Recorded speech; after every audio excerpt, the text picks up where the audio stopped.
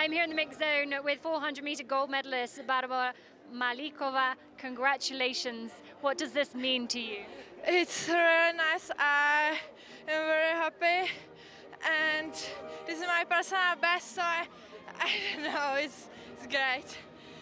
Did you expect to win gold? I uh, want to win or some uh, or get some medal, but this time I don't know. It's great.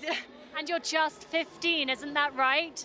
Just Uh, yeah, 15? just 15. So great future ahead of you. Thanks.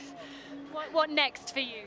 Next for me is European uh, Championship, and it's 22. Or I don't know. And how much have you enjoyed your time here in Kenya? It's great. There are so great people. They smile, and um, know. It's great. Congratulations. Thanks.